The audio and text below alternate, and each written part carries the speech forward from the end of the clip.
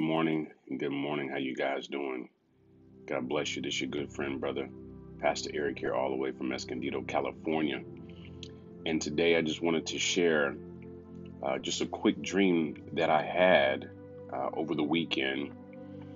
Um, I had went out to Palmdale, Lancaster area to minister, and a few days before I went out, I had a dream, and in the dream I could hear the voice of the Lord saying, "I'm dethroning the camel riders."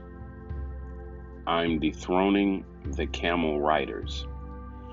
Now, you know, that really stuck with me. I wanted to press into the Lord and and and ask him what did he mean by this because uh, when I think of camel riders, I think in a biblical sense that camels were represented wealth uh, back in the biblical days, and but they also were uh, animals used for trade. They were also used a guerrilla type uh, regime, robbers and thieves. And so uh, camels could uh, travel long distances um, without having to stop for water. So camels were very much a commodity in the biblical days. Um, but when the Lord was saying that He was going to dethrone the camel riders, I found this to be very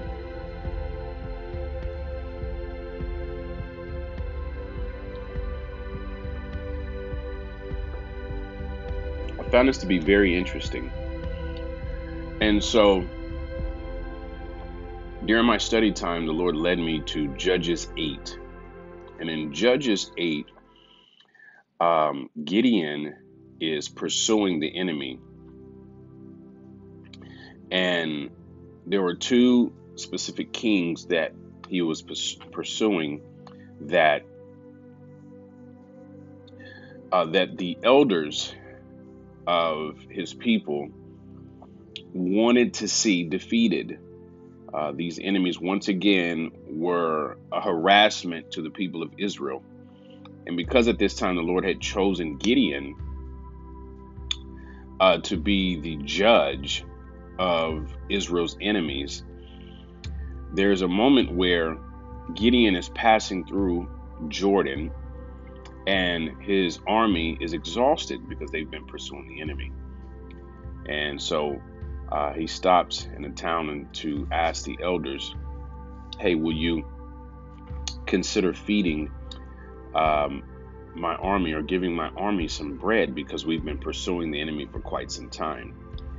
And the elders of Sukkot actually disrespect Gideon and his army by denying them bread by basically saying, "Listen, you have not captured the enemy yet." And so, until you capture the enemy, you know, you don't deserve any spoils or any type of reward. So until you finish your job, basically don't count your chickens before they hatch. you know, uh, you, we're not going to give you anything. And Gideon took note of this because he did see it as a disrespect to the fact that at least there was someone who was defending Israel um, on behalf of the people. So, same thing, Gideon comes across another group of people comes to find out that they as well were not going to assist Gideon and his army in helping them. So he says, okay, you know what? Um, when I do collect the enemy, I will return and you will pay for how you treated me and uh, my army. That being said, uh, he eventually does capture the enemy and he brings them back to the elders so that they can see, you know, that he had completed the task with the help of the Lord. Now, in doing so, back in biblical days, when you plundered your enemy, you collected the spoils of that enemy. You collected the spoils of the kings, and most of the time, the kings or the councilmen of the kings had very expensive wardrobe, jewelry, gold, silver, jewels. These things became now your reward if you defeated your enemy. The elders of Sukkoth, the people, now wanted Gideon to become their king. And Gideon refused the offer. And I really saw this as a part of Gideon's character where he actually remained humbled after his victory in a place where most most of us, most men or ministers of the gospel leaders, when we tend to have a victory in the spirit, um, you know, pride can kick in and we feel like we need to uh, have some type of reward. Uh, but the best place to remain is, is, is in a place of humility. I've I've uh, learned that price of believing because you know maybe I went somewhere and we saw uh, the enemy's uh, butt kicked. That when I came back, you know, I could kind of lax a little bit. Didn't have to pray as much. Didn't have to pursue the Lord as much. And and it was in those times where the enemy cranked up the heat and temptation the most. Did the same thing with David.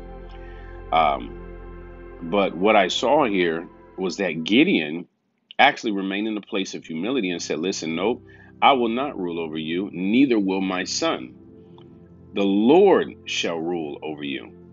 Now, this does speak of some humility from Gideon, uh, but at the same time, we also see where Gideon re- makes a request from the people to receive about a thousand or about 1500 pounds uh, of weight worth of gold to make an ephod.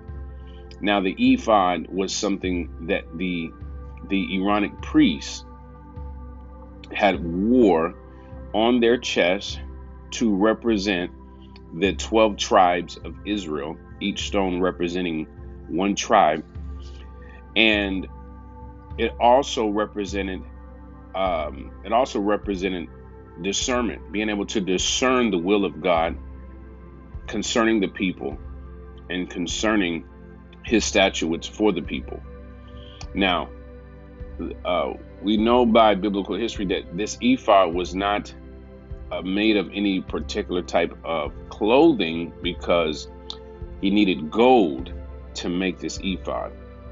So, whether this had become an idol or some type of uh, gold figurette for Gideon, we don't get much clarity, but we do know that the ephod was a uh, was a piece that was a part of the Aaronic um, priesthood's garmentry, and instructions were given on how to make that by God. However, this piece and a lot of of, of its material was taken from the camel's necks, the ornaments were taken off of the necks of the camels of the enemy to make this particular ephod. Now it struck me when I read this and I said, oh, wait.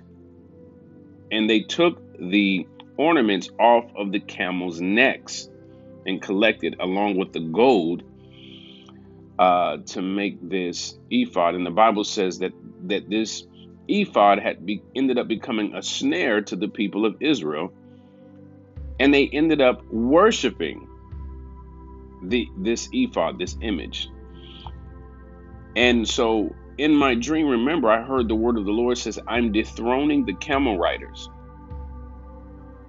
And as I begin to pray in this even more, um, the Holy Spirit began to reveal to me once again that the Lord was dethroning those who have taken the glory of God, those who have worshiped um, idols, those who have uh, put in place their own idols versus the glory of God. And the Lord is dethroning that because also Gideon comes back when the people denied him help, he tore down a tower. He tore down a tower from uh, where that was in the city or the area of these people. He tore it down, and so I was like, "Wow, God!" Now the prophetic number of eight represents new beginnings. The number eight prophetically represents new beginnings, and we see this pattern and this cycle in uh, in the Bible concerning the number eight. We see a cycle. We see something uh, um, turning over again. Okay. Now, I find it that I find this interesting once again that the Lord said, I'm dethroning the camel riders. And the camel riders were, these were the ones who were enemies of Israel. His enemies, they had, he had snatched away and he had taken off the ornaments represented pride and showmanship from the enemy of their wealth. But I believe it's I believe that as we come into the Hebraic year 5781, the head of the year, which is going to be in September 19th through the 21st, I believe that we're going to see a dethroning of idols. We're going to dis- we're going to see a dethroning and we have seen a dethroning of what has become the idols of America. We have seen even pulpits in the church have become idols, and all doors have been shut. And the Bible says that whatever door that the Lord opens, no man can close, and whatever doors that the Lord shuts, no man can open. Hmm? We also see that the Lord had brought judgment to the sports arena of football, of baseball, basketball, all of these things that have taken um, that, that have taken residence ahead of honoring God on Sundays, where on most football games are on Sundays. And even football stadiums and arenas have been shut down. Okay? And we've seen where the Lord really began to place judgment on what has become man's idols. Businesses that we never thought that would go out of mega and major corporations that we thought would never go out of business have shut down indefinitely. God is dethroning the camel riders. And God is bringing us into a new phase of what it means to truly worship Him and to honor Him and to magnify His holy name. He is dealing with the the camel riders, those who have who have placed ornaments on their idols, who have decorated their idols, have become proud at the fact that they even have another idol besides God. Jehovah Nisi, Jehovah Tsidkenu, the great I am, the ancient of days. Amen. The intergalactical judge. He is our Lord and our Savior Jesus Christ. And he wished that there be no other gods before him, for he is a jealous God.